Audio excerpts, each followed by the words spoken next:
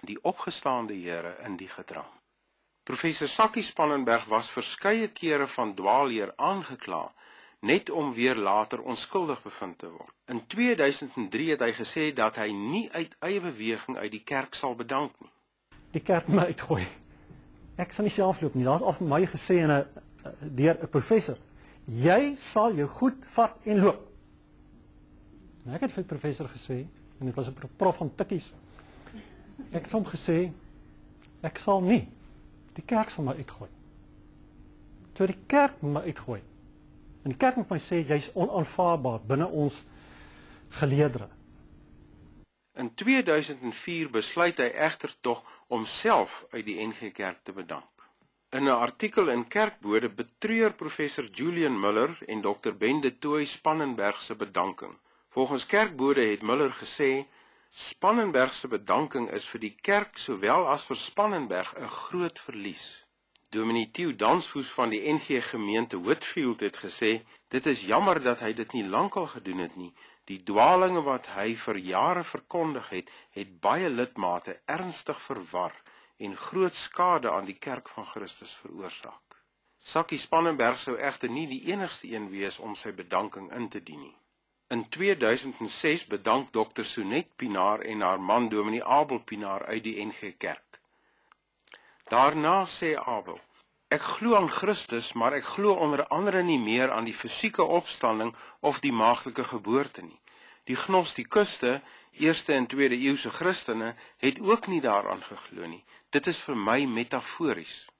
In April 2007 skryf Dominee Johan Simington, kommunikasiedirekteur van die NG Kerk, in die Burger oor verskillende standpunte rakende die opstanding van Jesus. Hy maak ruimte binne die kerk vir mense soos Markus Borg van die Jesus Seminar wat nie die letterlike opstanding van Jesus kan aanvaar nie en beskryf hom as 'n gelowige.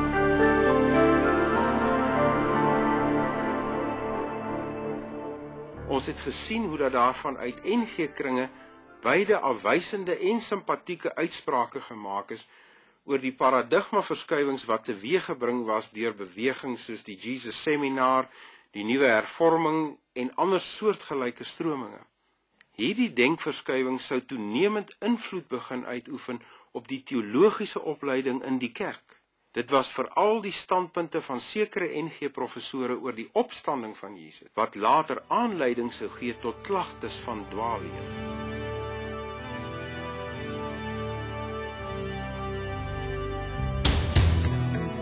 Op Hervorming Sondag 17 Oktober 2000 preek professor Julian Miller by Peer van Reineveld NG Kerk. Hy kontrasteer die Jesus seminar se ontkenning van die liggaamlike opstanding van Jesus met die behoudende standpunt dat sy opstanding wel liggaamlik was.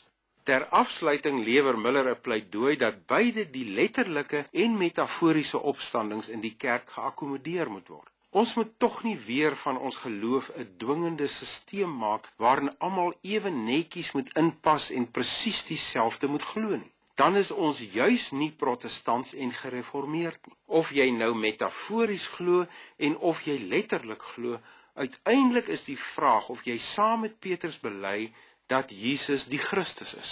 Hierdie uitspraak oor die metaforiese en letterlike verstaan van Jesus se opstanding herinner aan John Dominic Crossan se standpunt in die verband. Whether a body came literally out of the tomb or metaphorically out of the tomb, you're saying exactly the same thing. There's no difference. In 2002 tree professor Julian Miller op by die Centurion Theater saam met professore Christina Landman, Yuri Leroux, Sakkie Spannenberg, Jolanda Dreyer en ander. Die geleentheid was gereël deur die fakulteit teologie van Tukkies en die Oos-Transvaal Sinode. Die tema vir die dag was: Kan ons die Bybel dan nog preek? Muller het oor verskillende wêreldbeelde gepraat en homself geïdentifiseer met wat hy noem 'n integrale wêreldbeeld. Die alternatiewe perspektief wat ek aan die orde wil stel is om aan die hand van en op die basis van wêreldbeelde met u te praat. En ek sluit veral aan by Walter Wink se boek The Powers That Be wat as u hom nog nie gelees het nie tog 'n uh, moet is om te lees. Muller het verder verwys na die oorsprong van hierdie integrale wêreldbeeld. Die mees resente ontwikkeling in wêreldbeelde sou mens kon beskryf as die integrale wêreldbeeld. Hierdie wêreldbeeld word uit verskillende oorde gevoed. Die nuwe fisika, die nuwe ontwikkelinge in teologie, die prosesfilosowe, die oosterse en Afrika wêreldbeelde om maar net sommige te noem. In Wink se boek word daar egter heelwat meer lig gewerp op die oorsprong van die integrale wêreldbeeld. Hy skryf: "This new worldview is emerging from a number of streams of thought." Hy verwys dan onder andere na die denkrigtinge van die sielkundige Karl Jung, die paleontoloog Teilhard de Chardin, die teoloog Matthew Fox, die boeddhis Thich Nhat Hanh en die godsdienste van die Amerikaanse Indiane.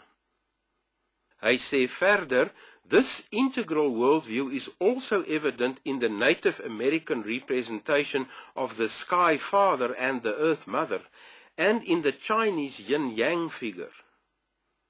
Met betrekking tot die vaders van Wink se integrale wêreldbeeld het verskeie Christen navorsers herhaaldelik aangetoon dat Karl Jung 'n okkultus was. Taylor de Chardin een van die vaders van die New Age denke was en dat Matthew Fox 'n sinkretis is. Na hierdie inligting verwys Wink egter nie in sy boek nie.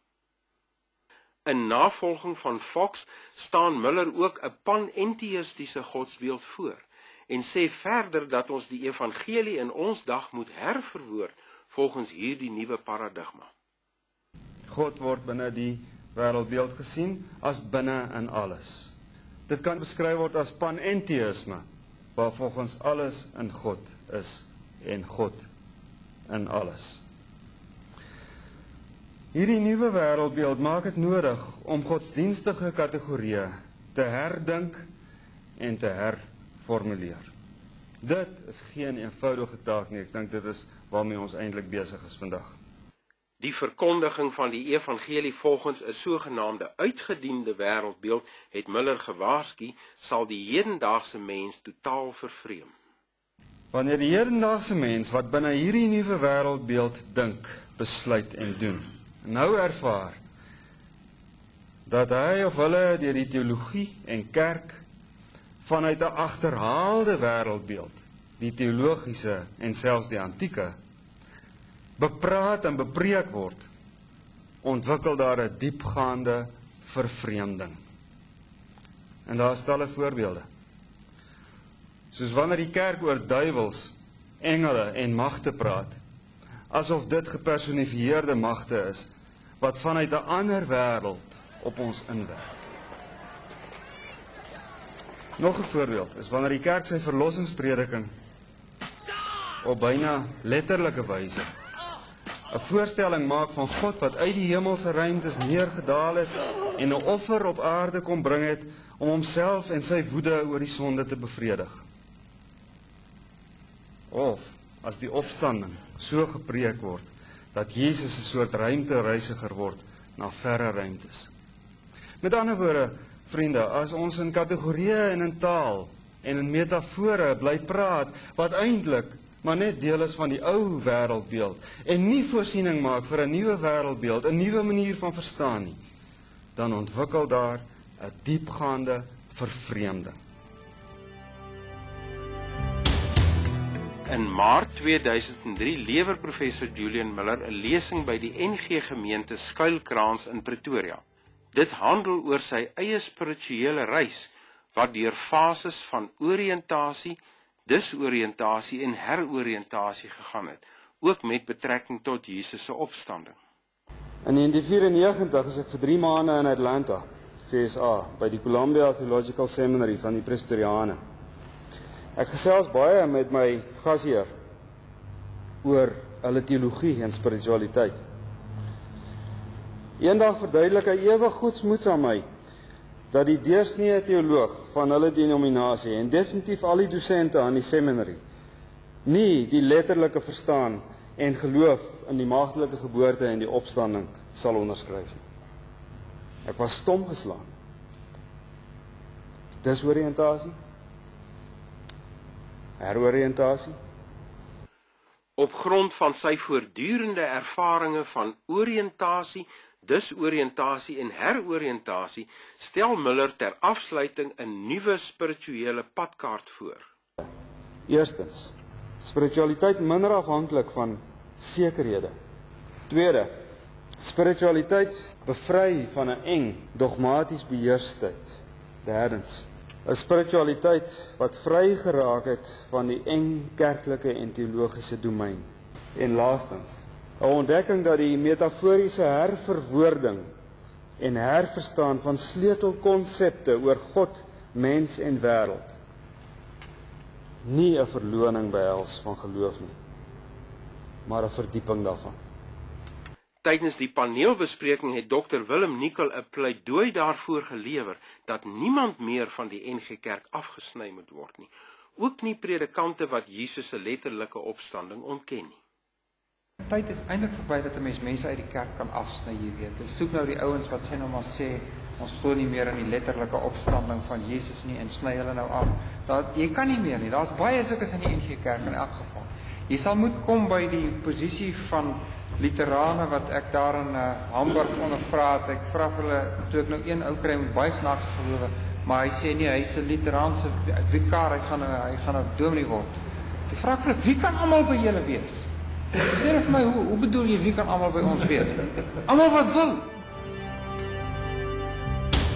Tydens 'n oop gesprek radioprogram wat by die NG Kerk Kameeldrif opgeneem was, het Dominee George Nel professor Julian Miller reguit uitgevra oor die opstanding van Jesus.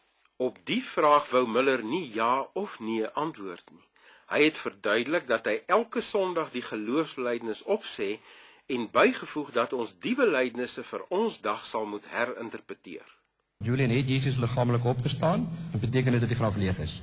Ek het vanoggend 'n erediens bygewoon en met groot vrymoedigheid sê ek met die gemeente saam, die apostolikum, dit is nodig dat ons konfessies, ons belydenisskrifte wat die apostolikum insluit, tog ook soos wat die tyd aangaan, geherinterpreteer moet word, nuut verstaan moet word, nuut bedink moet word. In Januarie 2006 verskyn professor Julian Miller se nuwe boek Opstanding. In die boek verwys Miller twee maal na die rede waarom hy tydens die betrokke oopgesprekprogram nie ja of nee wou antwoord op die vraag of Jesus liggaamlik opgestaan het nie. Hoe meer ek daaroor dink en skryf, hoe minder kan ek op daardie vraag net eenvoudig ja antwoord. Inteendeel, ek het behoefte om met my hele hart daarteen te proteseer, omdat die vraag en die manier waarop die vraag geformuleer en gevra is 'n teologie oor die opstanding verteenwoordig wat ek nooit kan onderskryf nie. Miller skryf in sy boek oor 'n artikel van Lina Spies. Lina Spies het 'n pragtige artikel geskryf. Daarin toon sy aan hoe die postmodernisme ons bevry het van die taal van dogma. In aansluiting by Lina Spies wil ek pleit vir die bevryding van ons konsepte oor die opstanding van Christus uit die kluisters van die dogma. In haar verwerping van die sogenaamde dogma verwerp Spies niks minder as die godheid van Christus nie. In hierdie artikel wat ongekwalifiseer deur Miller aangeprys word, skaar Spies haar by Karen Armstrong van die Jesus Seminar wat geskryf het: Jesus himself certainly never claimed to be God. In sy boek skryf Miller verder oor die spirituele reis van Marcus Borg van die Jesus Seminar. 'n reis wat vir sommiges mag herinner aan Miller se eie spirituele reis waarna ons reeds gekyk het. Miller verwys na die verskillende stappe in Borg se eie journey beyond belief wat eindig in die sogenaamde coming home fase. Na hierdie tuiskomsfase het ons nie meer nodig om in die Bybelse aansprake oor Jesus te glo nie. Dit gaan eerder oor ons verhouding met God. In die oorspronklike artikel van Borg waaruit Miller aanhaal, verduidelik Borg presies wat hy bedoel met die coming home fase van sy reis.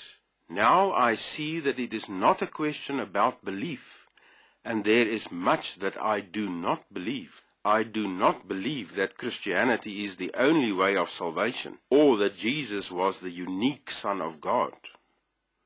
Muller se boek het 'n opskudding veroorsaak in kerklike en teologiese kringe.